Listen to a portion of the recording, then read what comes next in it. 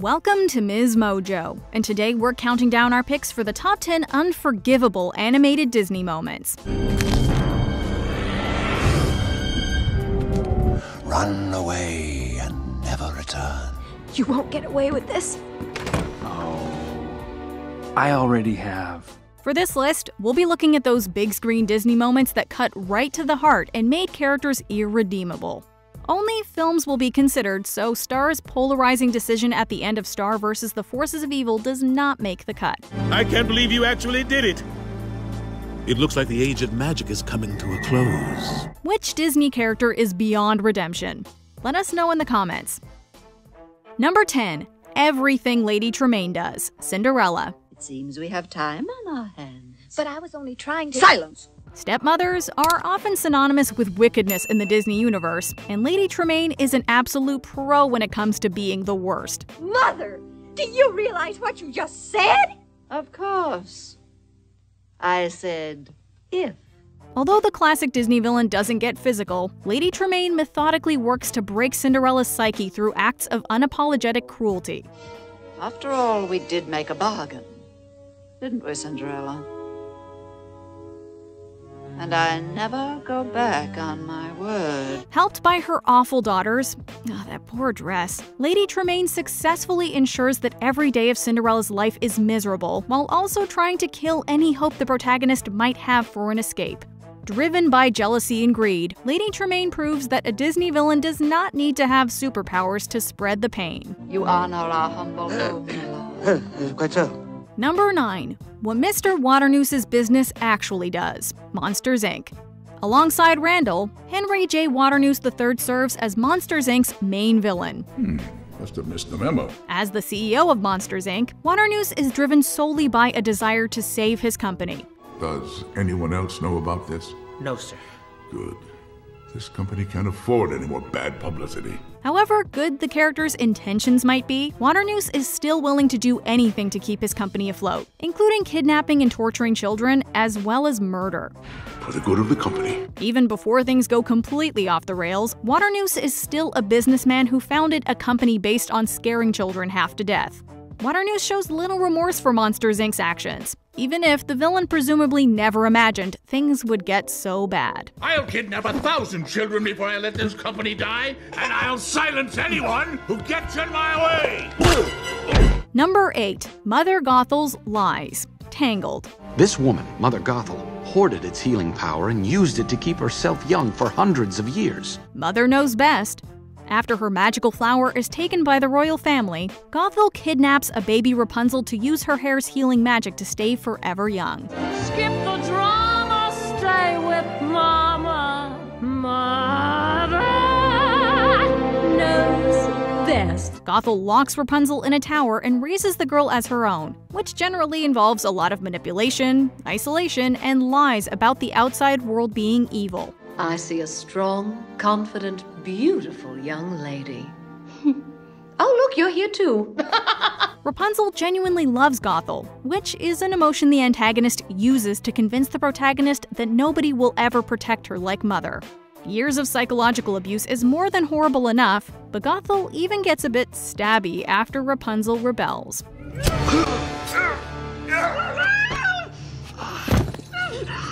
Now look what you've done, Rapunzel. Number 7. Cruella de Vil's puppy fur scheme 101 Dalmatians. She's like a spider waiting for the kill. Roger, Look she'll out hear you. Cruella de Vil. If nothing else, Cruella wears her horridness for the whole world to see.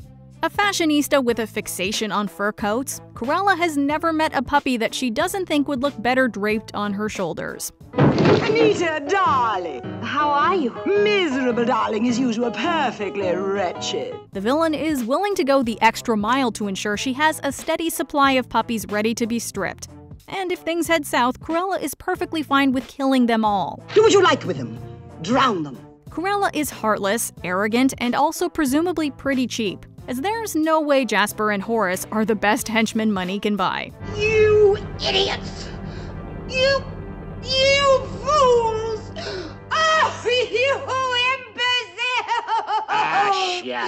Number 6. Dumbo is bullied and separated from Mother. Dumbo. Won't someone just give this elephant a hug? Dumbo's first act is filled with depressing moments and characters seemingly striving to out awful each other.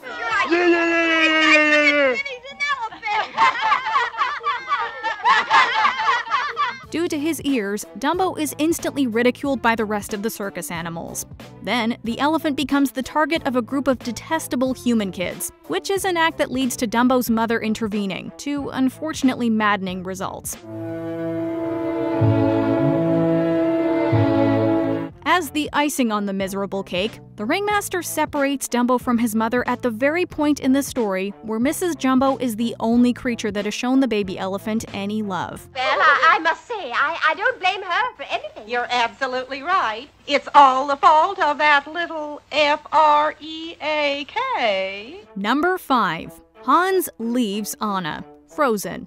For the majority of Frozen, Hans comes across as a heroic and selfless character who wishes to protect Arendelle from Elsa's unintentional wrath. I need you here to take care of Arendelle. On my honor. Just as the stars seem to align for the prince to marry Anna and join Arendelle's royal family, Hans decides to reveal himself as a villain. Oh, Anna. If only there was someone out there who loved you. Hans locks a dying Anna in a room and leaves her to rot, hoping to use the princess's demise as justification to execute Elsa. All that's left now is to kill Elsa and bring back Summer. It's a shocking moment that flips the character on his head, mostly because Hans delivers his evil monologue with all the gusto of a James Bond villain from the Roger Moore era. You won't get away with this. Oh. I already have. Number 4. Lotso leaves the toys to burn. Toy Story 3. Whoa there, Missy. You're not going anywhere.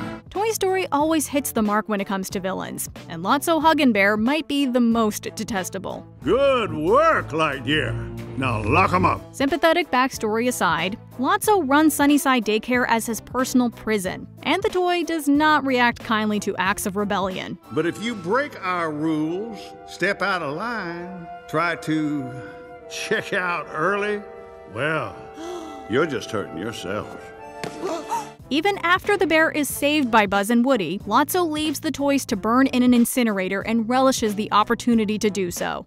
With redemption only one big red button away, Lotso spits in the face of the opportunity and reveals he has no intention of changing anytime soon. Where's your kid now, Sheriff? Oh. Number 3. Ernesto de la Cruz's crime against Hector, Coco. Some people will do anything for fame and fortune. Musician Ernesto de la Cruz died a legend and an idol, all while hiding the fact that he stole his success from his childhood friend Hector. I can't do this without your songs, Hector. I'm going home, Ernesto. Even in the land of the dead, Ernesto plays the part of the suave artist with a passion for music. At least, he does until the truth comes out about the way he murdered Hector and took his songs. Please. Those were my songs you took. My songs that made you famous. It's not just that Ernesto murdered a close friend, but the villain also robbed the Rivera family of music for generations. I am the one who's willing to do what it takes to seize my moment. Whatever it takes. No! Number 2. Scar blames Simba for Mufasa's death, The Lion King. Just stay on this rock. You wouldn't want to end up in another mess like you did with the hyenas. Always a bridesmaid, never the bride. Scar loathed his brother Mufasa and schemed to take the Pride Land's throne for himself. I will be king. Stick with me, and you'll never go hungry again. With the help of the hyenas and a wildebeest stampede, Scar sets a plan in motion. It culminates in Mufasa's death, Simba taking responsibility for the tragedy, and a whole lot of tears. No one ever means for these things to happen. But the king is dead. And if it weren't for you, he'd still be alive. Dead parents are a staple of Disney movies, but The Lion King shows Scar ending Mufasa's life in all of its heartbreaking glory. Long live the king. Scar also proves to be a rather terrible king and almost causes the Pride Land's ruin. Tell them who is responsible for Mufasa's death. Before we unveil our top pick, here are a few honorable mentions. Tinkerbell tries to get rid of Wendy, Peter Pan, because she may just be a few inches tall, but it all seems to be unfiltered jealousy. Ready? Aim. Sebastian ratting Ariel out and Triton destroying the grotto, the Little Mermaid. Because Triton took overprotective father to new heights. I told her to stay away from humans. They are bad. They are trouble. Humans? What about humans? The evil queen puts out a hit on Snow White, Snow White and the Seven Dwarfs, because the queen lives up to her evil reputation. Bring back her heart. An expedition to rob Atlantis, Atlantis the Lost Empire, because discovering a long lost city means nothing if it does not turn a profit. I would have told you sooner, but it was strictly on a need to know basis, and, well, now you know. I had to be sure you were one of us. Welcome to the club, son. Syndrome destroyed a whole lot of superheroes, the Incredibles, because if Syndrome cannot be a super, then nobody can. I'll sell my invention so that everyone can be superheroes. Everyone can be super. And when everyone's super,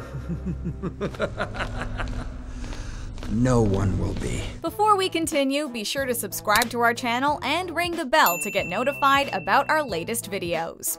You have the option to be notified for occasional videos or all of them. If you're on your phone, make sure you go into your settings and switch on notifications. Number 1. Frollo does away with Quasimodo's mother and launches a reign of terror, The Hunchback of Notre Dame. A baby? A monster. Frollo's first act in this Disney movie is to allow for a young mother's death out of prejudice for her ethnicity before almost drowning a baby. And the judge's reign of terror has yet to even begin at this point. This is an unholy demon. I'm sending it back to hell, where it belongs. Along with treating Quasimodo like dirt for his whole life, Frollo, an extremely religious minister of justice who believes himself to be above judgment, finds himself falling in lust with a Romany woman.